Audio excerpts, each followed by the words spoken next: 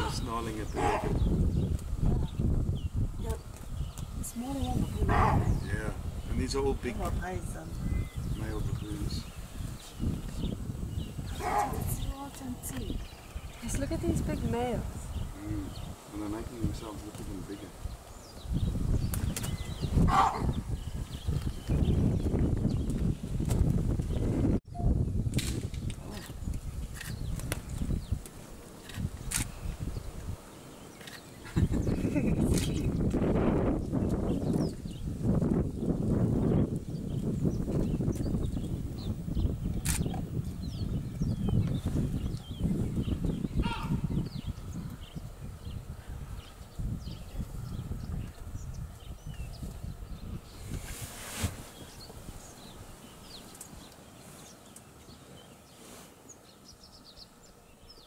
See, there's the true